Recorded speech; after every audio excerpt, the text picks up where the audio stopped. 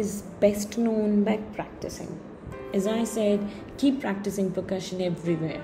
Practice on your desk, practice on your bottle, practice on your stomach area, practice everywhere. So, the plexor and the pleximeter help us yield a resonant note in the chest on the hand in the front and less resonant because of bulk of musculature at the back. These three terms are very important. Never mix them. An impaired note, a dull note, and a stony dull note.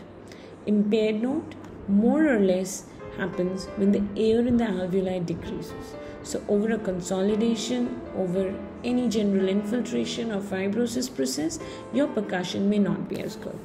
Whenever you're percussing, then the the sound that you hear can be appreciated by noticing a difference. So, if you have any doubt, percuss the normal area and percuss an abnormal area, and you will know which one is altered. When you talk about note, again it can come over all of these, but it would be absolutely dull. Try percussing your forehead and you would know what dull note is. Try percussing over your chest and you would know what a normal resonance is. And try percussing over your stomach and you will know what resonance is. When you use the term stony dull, you are almost always implying that your patient has pleural effusion because it will dampen the vibration. So it's almost always a clue to the examiner that you know the diagnosis is effusion. Tympany, it's drum like. Percuss over your stomach when you're lying down, and you would know what a tympany is. The same note can be heard over a pneumothorax and over a cavity which is superficial. Subtympany, also called boxy quality just above pleural effusion. It will be difficult to appreciate each time, so do not mention it unless you're sure about it. Hyperresonance. Remember emphysema, remember pneumothorax. And bell tympany, a bell like metallic quality to the sound, specifically in pneumothorax. There are certain areas where percussion is normally altered and we must know them. A question that's often asked by the examiners is where is Kronig's isthmus So if this is your sternocleidomastoid, this is your clavicle, and these are your shoulder muscles, then this area on your neck is the Kronig's isthmus. This is normally resonant, but if there is an apex involvement, then this area bilaterally can be altered liver dullness and span. Very very important because this tells us where our lung is ending and this tells us where the liver is starting. So if you want to see whether your lung is um, fibrosed or that side lung volumes are reduced then this will shift up. And if the volumes of the lung are increased it will shift down. If the liver is enlarged it will shift so it's a very, very important sign.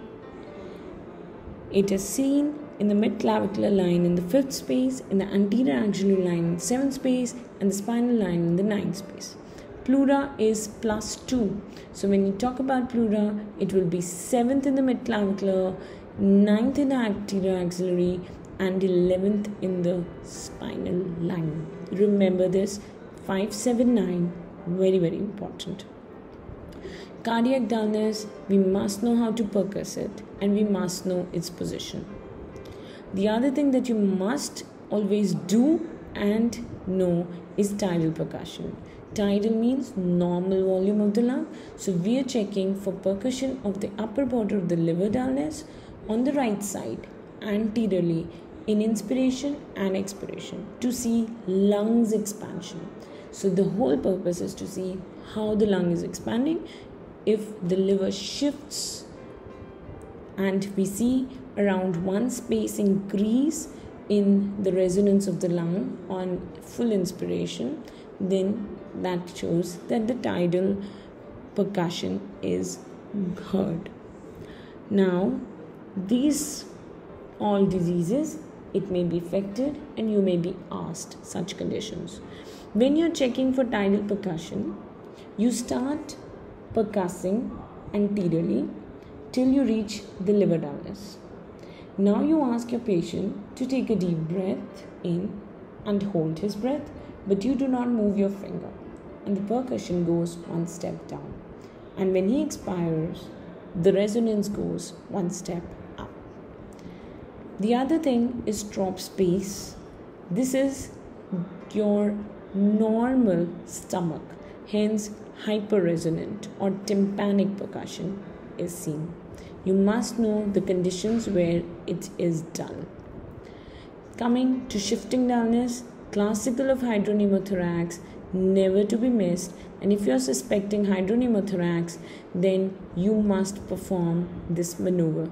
Not required if your patient is not suspected to have hydropneumothorax. Coin test if there is a patient with pneumothorax, you must do this. For all patients, you may not do it.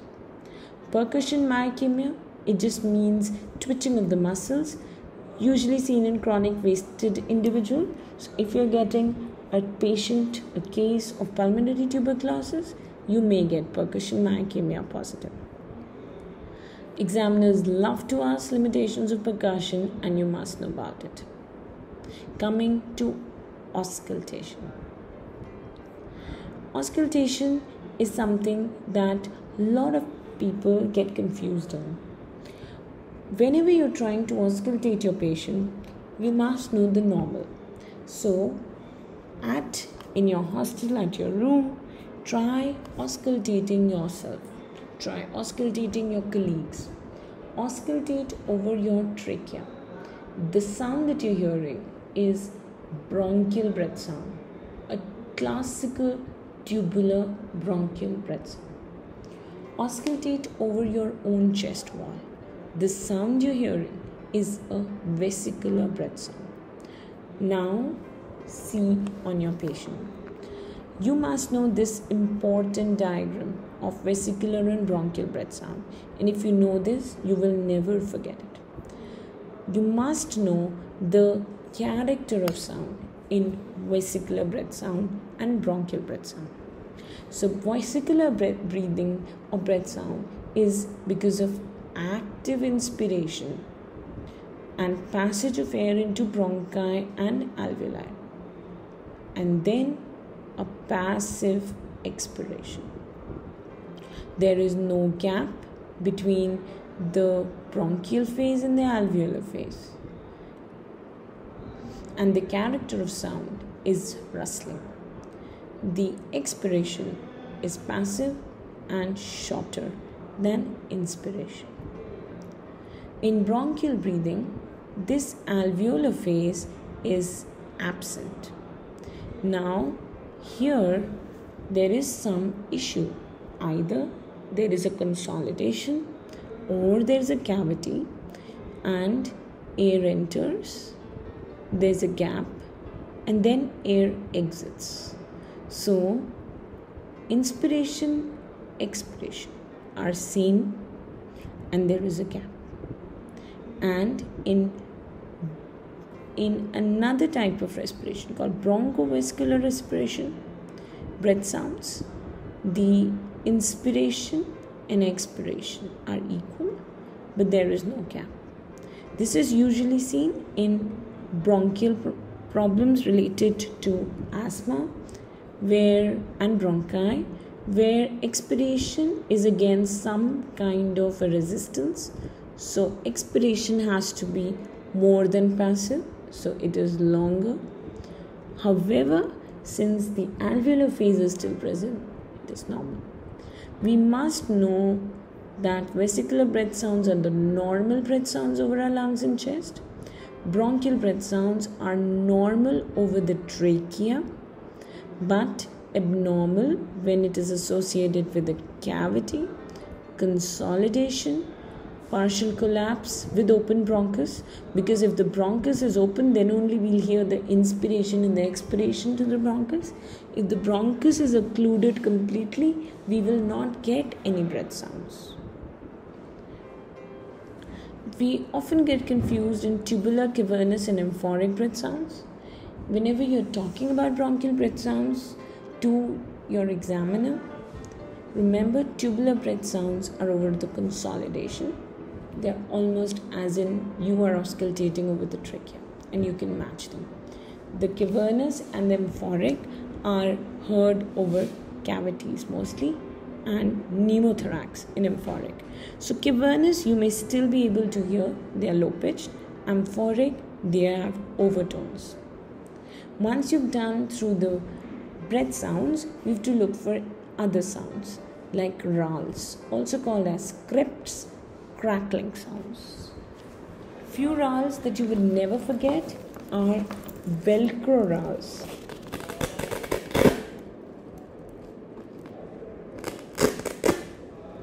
This is a Velcro rale or a Velcro crept. This is an end inspiratory crepitation usually heard in pulmonary fibrosis, interstitial lung diseases. But they can be in early inspiration, mid inspiration, late inspiration, as I just showed you, and sometimes expiration. You must know their causes and you must know their mechanism of being because of explosive opening of the airways in a part of the lung that is deflated to its residual volume. They are no longer believed to be due to bubbling of air and they are very important adventitious sounds. Almost majority of COPD patients, bronchiectasis patients, consolidation patients and interstitial lung disease patients will be diagnosed on the basis of these classical crepts or rales mostly heard on the dependent parts of the lungs and whenever you hear a rale always ask the patient to cough and see whether they change which means there were secretions which have got dislodged. Post tussive. You can also ask a patient to bend forward, and sometimes you will hear them less prominent, mostly in patients where pulmonary edema is causing such rales. After you hear rales, another very, very important sound is rhonchi. Rhonchi is almost always classical of asthma, also heard as wheezing. All, it is also seen in cases where there's a localized obstruction. They are music to our ears, musical sounds that once heard you will never forget.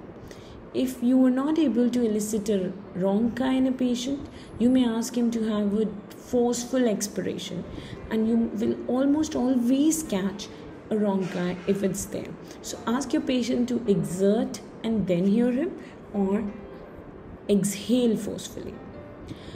Term polyphonic and monophonic may not be used always while giving your examination findings, but polyphonic have numerous tones and monophonic usually is a single sound.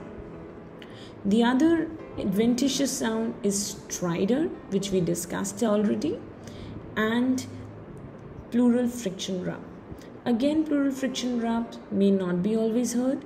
If there's a good amount of pleural effusion, you will never hear a friction rub. Usually observe when there is a very little fluid and good amount of inflammation. It is best heard in the bases in the axillary line. You must know the characteristics of a pleural friction rub and they are very important for your examination. Hamman's crunch usually with mediastinal emphysema because here the emphasis the mediastinal emphysema produces a crackling or a crunchy sound and when the heart moves this changes vocal resonance as i said it's almost tactile vocal frequency with a stethoscope we ask the patient to say 111 823 or 123 and we will be able to hear a resonance sound normally a diminished sound in most pleural pathologies and emphysema, and an increased sound mostly in consolidations. This table is a beautiful table that would help you a long way.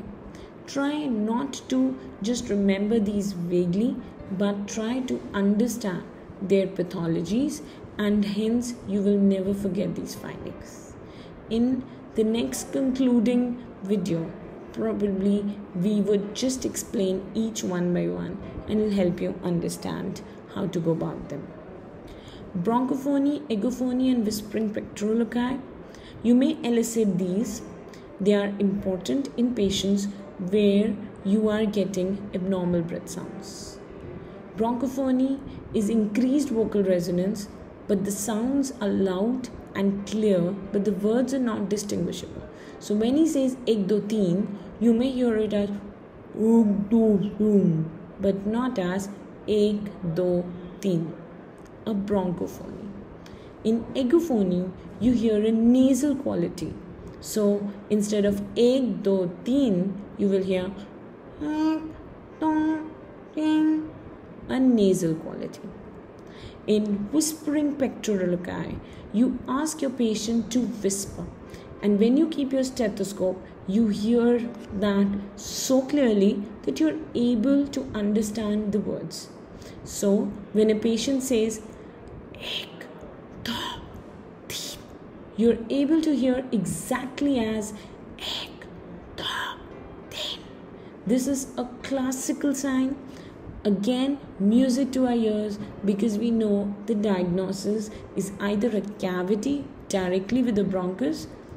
So we're getting the tubular breath sound like almost in, a, in our trachea and or a diffuse consolidation where the lung is near the bronchus succussion splash is heard mostly in hydropneumothorax or a large cavity with fluid you shake the patient you put the stethoscope and you hear a sound as if fluid is shaking in a bottle. Again, if you're not suspecting hydropneumothorax or a huge cavity, you may not elicit it. Post-tussive suction is suction sound after a long inspiration and a bout of coughing in thin-walled cavity. And rales, as I said, crepitations or rales that you hear after the patient has coughed and those which were not audible initially may be now heard because the secretions of the thick material has dislodged. This is respiratory system examination in totality.